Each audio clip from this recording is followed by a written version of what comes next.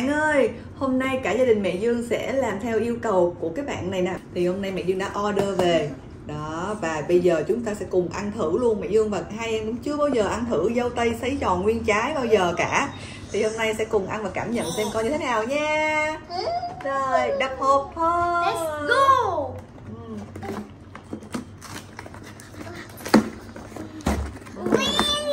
Wow. Ồ, sushi cũng lần đầu tiên luôn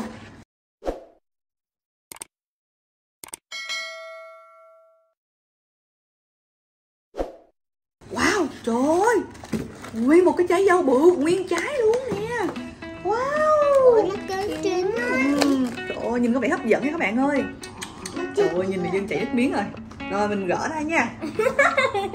Ừ. Ruby ra lấy mẹ kéo ngoài kia. Cứng quá, cứng quá, lấy kéo cắt. Rất là hấp dẫn luôn. Rồi, xin ngồi xuống, xin ngồi xuống, ngồi xuống nguy hiểm? Rồi, bây giờ mình sẽ khui nha Bây giờ có một cái trái to khổng lồ nhất nè. Bây giờ ai bự nhất ở đây? Cho Ruby trái bự nhất. Rồi trái khổng lồ nè. Uh. Trời ơi, đây cho Ruby nha. Rồi khoan bây giờ khoan ăn. Bây giờ mỗi người sẽ cầm lên bàn tay của mình. Mỗi người một quả. Rồi. Ok. Cho bố Thịnh một quả luôn. Rồi cho Vani quả nhỏ. Rồi bây giờ chúng ta đặt trên tay nha. Rồi để sát vô Ruby Đi. Đi giống kẹo. Rồi, đây là dâu tây của chúng ta nè. Cả nhà mình sẽ cùng ăn thử ha. Vô, vô, vô. Sushi vô, sushi. Vô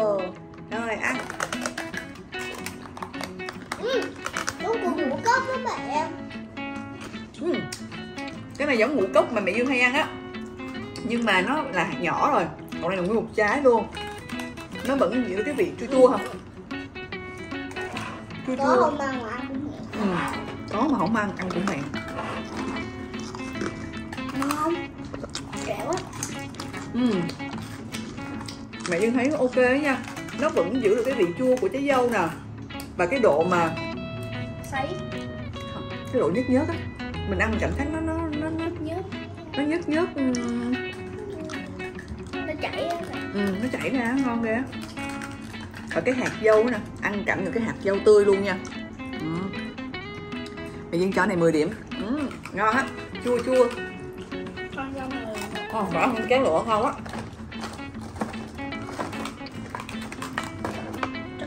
Bó nữa không? Rồi cho bố trái nữa. Mẹ Dương mua ờ, có một bịch à Thôi mình cũng đủ ha. Bạn nào mà muốn ăn thử thì các bạn hãy bấm dưới phần bình luận nha. Mẹ Dương có để cái đường link đó. Mình sẽ vô đó mình mua nha.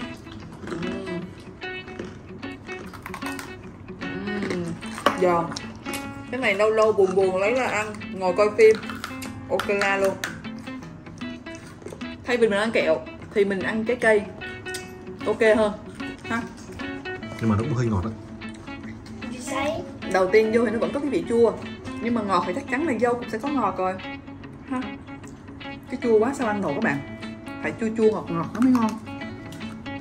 Chè vani mất tiêu rồi ừ. Sushi đứng kia sushi đứng kia vani rồi sushi ngồi lòng mẹ đây thêm. Rồi cho Ruby một quả nữa nha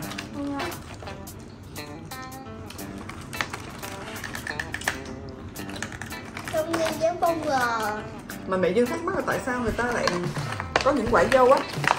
Nó bị hỏng cái ở trong cái lỗ nè. Có những cái quả dâu á nó bị cái lỗ á. Đâu là cái quả này nè. Có những quả nó bị lỗ hay gì không hiểu ha. Ừ. người ta bóc ruột ra hay sao á? Người ta chỉ lấy những cái vỏ cái, cái bên ngoài thôi còn bên trong người ta không lấy. Đây nè có những cái quả này mẹ dương thấy là cũng bị cái lỗ ở trong nè. Thổi Đó. dâu lên bị đáy vào quá trời. Có những quả có có những quả không. Đây là quả này to ghê luôn. Đó. Nhưng mà không bằng cái quả to này bây giờ ăn thử cái quả này coi nó khác gì không? Sao cái lỗ to ghê? Cái to còn cũng vậy à. Ừm. Giòn nha. Cái này là cái màu trắng là gì vậy? ờ, cái màu trắng là cái ở trong cái quả dâu không tại mỗi lần Vani ăn là Vani um, không để ý. Vani cứ cắn Vani ăn thôi Vani không để ý. Này con tivi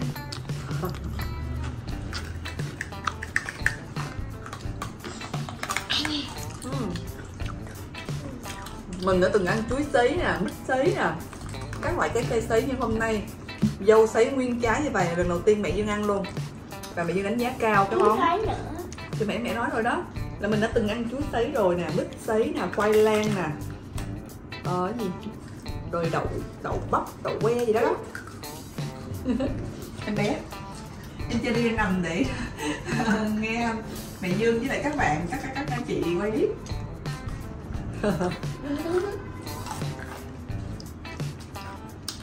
Vậy là video clip ăn thử dâu tây nguyên trái sấy của gia đình phương phương đến đây là hết rồi nha.